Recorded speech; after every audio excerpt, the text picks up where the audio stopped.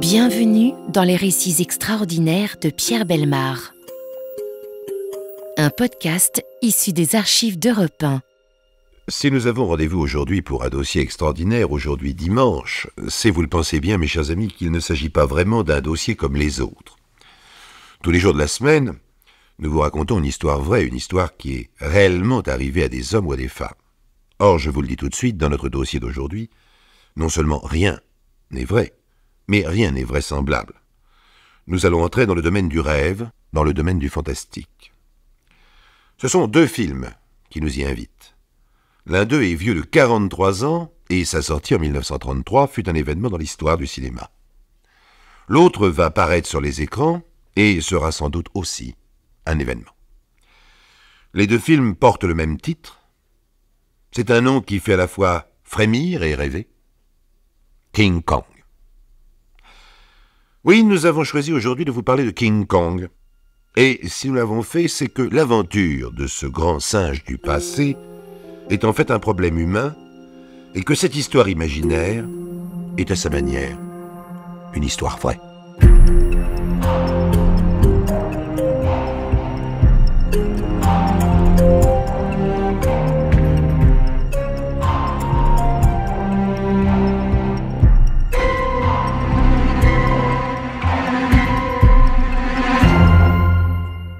Tout commence par les conséquences de la crise du pétrole. Les compagnies prospectent en tous sens, partent dans le monde et même dans les endroits les plus reculés.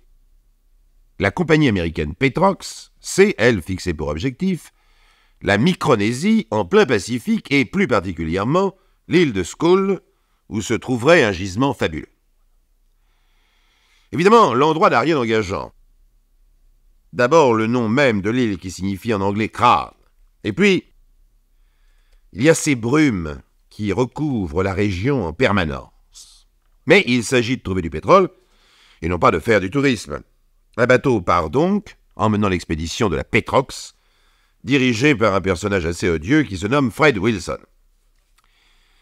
Il emmène aussi ce bateau un passager clandestin, type sympathique, Jacques Prescott, qui lui est là pour une toute autre raison. C'est un jeune savant, diplômé de paléontologie, et il a lu dans d'anciens rapports de navigateurs des choses troublantes à propos de l'île de Skull. Figurez-vous que dans cette île subsisteraient des animaux préhistoriques encore vivants, et parmi eux un grand singe, un singe monstrueux. Le bateau est déjà au milieu de l'océan quand Prescott décide d'aller trouver Fred Wilson pour tout lui avouer. S'il est passager clandestin, c'est par pur intérêt scientifique, c'était pour lui une occasion inespérée, car jamais il n'aurait eu les moyens de monter lui-même une telle expédition. Est-ce que vous vous rendez compte? Des animaux préhistoriques vivants et sans doute un singe gigantesque. Pour prouver sa bonne foi, Prescott monte ses diplômes. Mais Fred Wilson ne le croit pas. Il l'accuse même d'être un espion à la solde d'une autre compagnie rivale. Les choses vont sans doute mal tourner quand survient un événement inattendu. Des cris sur le pont interrompent les deux hommes. L'équipage vient de repêcher une jeune fille abandonnée dans un canot pneumatique. On la conduit dans la cabine du capitaine, et d'une voix faible, elle raconte son histoire. Elle allait à Hong Kong, son bateau a explosé, et elle est sans doute la seule survivante. Elle s'appelle Douane. Douane est très belle, de longs cheveux blonds, un regard candide, une grande douceur. Et sans doute cette douceur est-elle communicative, car Wilson et Prescott se mettent d'accord. Tout le monde finalement ira ensemble à School et Prescott donnera un coup de main à l'expédition. Quelques jours plus tard, l'île est en vue. Enfin, en vue, c'est un bien grand mot. À vrai dire, c'est surtout du brouillard que l'on voit, un, un épais brouillard qui forme comme une couronne au milieu de la mer. Mais on accoste quand même, et toute l'équipe, les chercheurs, les marins, débarquent avec bien sûr Dwan, Wilson et Prescott. Après une marche très pénible à travers les montagnes et la forêt vierge, les voyageurs ont une surprise. Ils viennent brusquement de tomber sur un village indigène. Oh, bien sûr, ils se doutaient que l'île était habitée, mais tout de même, ce qu'ils voient de quoi les surprendre. Le village, en effet, est bâti au pied d'un mur gigantesque. Un mur fait de troncs d'eucalyptus et haut de près de 15 mètres. Et les gens de la Pétrox ne sont pas au bout de leur étonnement, car voici maintenant que les indigènes entament une étrange cérémonie. On amène sur une litière de branchage une jeune fille habillée d'une manière extraordinaire avec un costume fait uniquement de plumes. Elle est attachée. Et soudain la porte s'ouvre, car il y a une porte au milieu du mur, une porte gigantesque elle aussi. On dépose de l'autre côté, sur un autel, la jeune indigène qui hurle de terreur, et on referme précipitamment. Alors tout le monde se met à danser, un chant étrange s'élève, avec une seule syllabe qui revient inlassablement Kong, Kong, Kong, Kong. Fred Wilson, le chef de l'expédition, décide de ne pas s'attarder. Après tout, ils sont là pour trouver du pétrole. Tout ce que peuvent faire les indigènes ne les regarde pas. Mais ce n'est pas l'avis de Prescott, qui lui reste sur place. Maintenant, il est sûr de ne pas s'être trompé. D'abord, pourquoi cette palissade Sinon pour se protéger d'un terrible danger? Et puis il y a ce nom que viennent de prononcer les indigènes, Kong. Or, les manuscrits qu'il a lus appelaient précisément le singe monstrueux King Kong. Prescott sent qu'il est tout près du but. Et il s'enfonce dans la jungle. Laissons donc Prescott et revenons à Douane, qui commet en cet instant précis une grave imprudence. Elle a laissé les hommes partir devant elle et elle s'attarde au bord d'un ruisseau. Or, les indigènes l'avaient suivie. Dès qu'elle est seule, ils l'enlèvent et l'entraînent au village. Et la scène de tout à l'heure se reproduit exactement de la même manière. Mais cette fois, c'est Douane, la victime. Douane est revêtue d'une robe à plumes et attachée sur une litière de branchage. On ouvre la gigantesque porte, on la dépose sur l'autel et on referme précipitamment. Un grand silence se fait, tout le monde attend. Alors on entend au loin un bruit sourd, un bruit pesant. Puis les branches se brisent. Ce bruit se rapproche peu à peu. Et en même temps on distingue le souffle d'une énorme respiration. Les danses reprennent phonétiquement, avec la même incantation, la même syllabe inlassablement répétée. Kang, Kang, Kang. Douane, qu'on a jetée sur le sol à moitié inconsciente, sent qu'une ombre s'approche d'elle et la recouvre tout entière. Elle lève les yeux c'est un singe immense qui fait plus de dix mètres. Le monstre se penche vers Douane qui s'évanouit. Nous voici donc enfin, mes chers amis, en présence de King Kong. Et je pense qu'il nous faut ouvrir une rapide parenthèse à propos du film.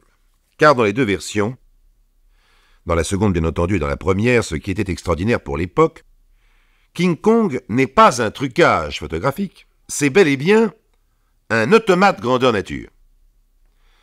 Dans le second film, par exemple, King Kong mesure 13 mètres. Il pèse 6 tonnes et demie. Son armature, ou son squelette, si vous préférez, est en aluminium. Ses veines et ses artères sont constituées par 900 mètres de conduits hydrauliques et 1350 mètres de câbles électriques. Sa poitrine fait 6 mètres de large et ses bras 6 mètres de long. King Kong est articulé, ses bras peuvent adopter 16 positions différentes. Il marche, avec des enjambées de 4,50 m. Il peut remuer les hanches, tourner sur lui-même à la ceinture, plier les genoux, bouger les yeux dans n'importe quelle direction, retrousser les lèvres et même remuer les oreilles.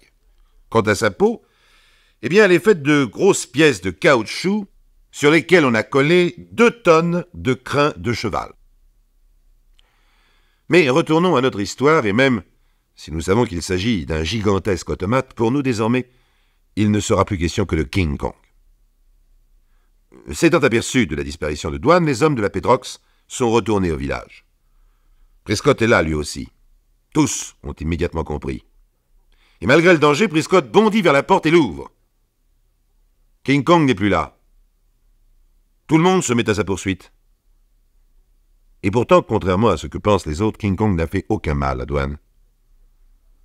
Tandis qu'elle était évanouie, il l'accueillit délicatement entre ses doigts, il l'a emmenée dans son repère, il l'a laissée se reposer toute la nuit, et il l'a regardée en faisant le moins de bruit possible. Même chose quand le matin, Douane se réveille et tente de s'échapper. En quelques-unes de ses enjambées de 4,50 m, King Kong n'a aucun mal à la rattraper, mais comme elle a glissé dans la boue, il la place toujours avec la même délicatesse sous une chute d'eau pour lui faire sa toilette. Et il faut bien se rendre à l'évidence, King Kong est vraiment tombé amoureux de Douane. Mais les choses ne vont pas rester toujours aussi souriantes, car Prescott et les autres sont à la recherche de Douane et du singe géant.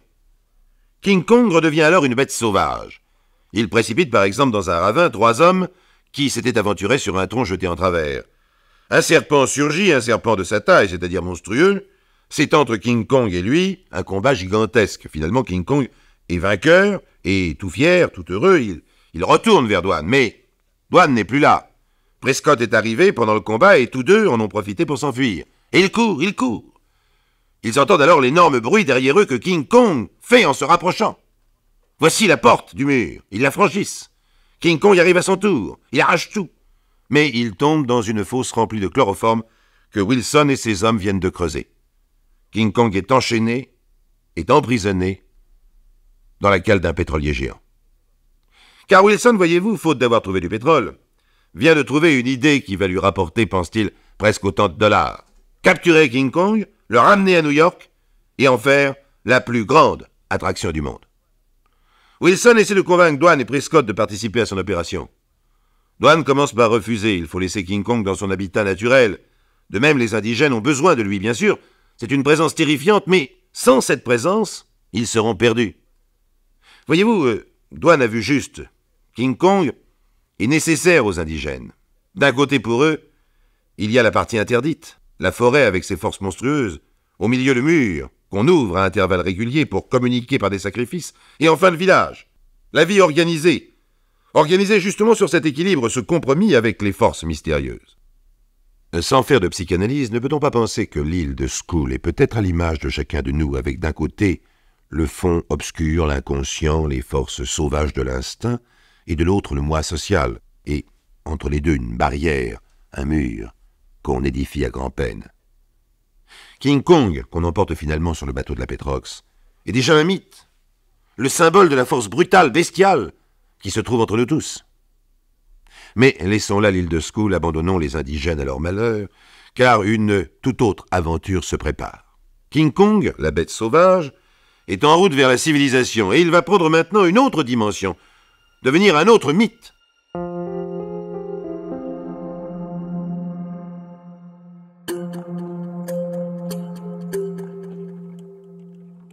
Nous sommes à présent sur le pont du bateau du pétrolier géant en route vers l'Amérique. Oh, je ne vous surprendrai certainement pas, mes chers amis, en vous disant que Douane et Prescott sont tombés amoureux, ils s'étreignent fougueusement, un peu trop fougueusement même, car l'écharpe de Douane glisse jusque dans la cale où King Kong est enfermé. Et quand il sent le parfum de sa bien-aimée, King Kong devient absolument enragé. Il se démène furieusement et malgré ses chaînes, il va peut-être démolir le bateau, car désormais et jusqu'à la fin, King Kong, prisonnier de la civilisation, n'est plus qu'une force de destruction aveugle. Oui, Fred Wilson a commis une grave imprudence. Il y a des éléments qu'on ne met pas impunément en présence, et quand ils sont placés côte à côte, produisent d'une manière tout aussi infaillible, par exemple, que les réactions chimiques, une explosion dévastatrice. New York. La ville, dit-on, la plus civilisée du monde, la ville par excellence va se trouver confronté brusquement avec un King Kong qui va devenir un monstre social. Au milieu de Central Park, devant une foule innombrable, se dresse une pompe à essence immense, d'un mauvais goût certain, haute d'une vingtaine de mètres. En face, il y a une sorte d'hôtel de sacrifice semblable à celui qui se trouvait à Skull. Douane est debout sur l'hôtel, mais elle ne se sent pas très fière dans sa robe à paillettes et au milieu de ce Barnum. Et c'est le grand moment. Une grue soulève la pompe à essence, découvrant le pauvre King Kong qui rugit à l'intérieur de sa cage de fer. Les flashs de centaines de journalistes crépitent, tous en même temps. Et bien sûr, l'inévitable se produit. King Kong entre dans une fureur incroyable, agrippe les barreaux de sa cage, il les tord, les brise, il s'échappe. Et la panique est indescriptible. Douane et Prescott, toujours eux, s'enfuient poursuivi par King Kong. Il se dirige vers la pointe extrême de l'île de Manhattan, là où se dressent les deux plus hauts gratte-ciel de New York, plus haut que l'Empire State Building, les tours jumelles. Et c'est là, à 450 mètres du sol, que va se jouer le dernier acte. Le couple se réfugie dans une des tours. King Kong les suit, et grâce à son instinct, il sait dans quelle pièce douane s'est réfugié. Il passe sa main monstrueuse à travers la fenêtre, il la prend doucement entre ses doigts, et avec elle, il entreprend l'escalade de la façade de ce gratte-ciel. Autour de lui, les hélicoptères bourdonnent, les avions sont prêts à intervenir, à tirer leurs roquettes. King Kong est à présent la menace dans la cité, la force incontrôlée qui trouble l'ordre et qui doit être réprimée par tous les moyens. King Kong est l'ennemi mortel de la société. Mais n'est-ce pas la société elle-même qui l'a engendré? Car c'est pour de l'argent qu'on l'a arraché à son milieu naturel et transplanté au cœur de la civilisation. King Kong qui grimpe sur le plus haut bâtiment de la plus grande ville du monde devient le symbole du refus de la révolte sauvage, une sorte de statue monstrueuse de la contestation. Douane en plein ciel, balancée entre les doigts énormes à peur, mais pas pour elle, pour King Kong. Elle lui fait signe de ne pas l'abandonner car elle sait que dès cet instant, les avions tireront. Mais la bête a compris. Il a peut-être compris aussi que son aventure est sans issue, comme est sans issue le sommet de la tour où il est parvenu. Alors, avec d'infinies précautions, il dépose douane sur le toit et se redresse vers les avions. Il se sacrifie.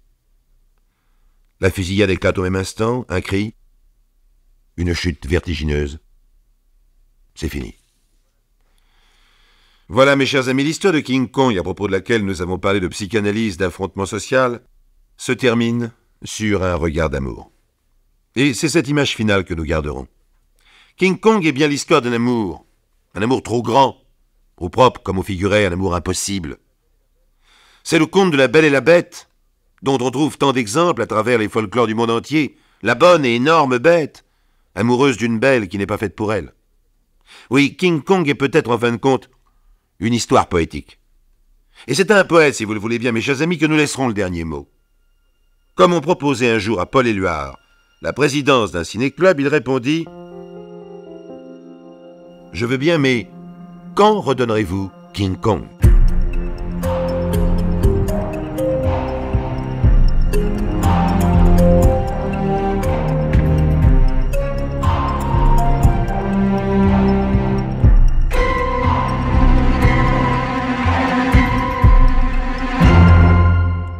Vous venez d'écouter Les récits extraordinaires de Pierre Belmar, un podcast issu des archives d'Europe 1 et produit par Europe 1 Studio. Réalisation et composition musicale, Julien Tarot. Production, Sébastien Guyot. Direction artistique, Xavier Joly. Patrimoine sonore, Sylvain Denis, Laetitia Casanova, Antoine Reclus. Remerciements à Roselyne Belmar. Les récits extraordinaires sont disponibles sur le site et l'appli Europe 1. Écoutez aussi le prochain épisode en vous abonnant gratuitement sur votre plateforme d'écoute préférée.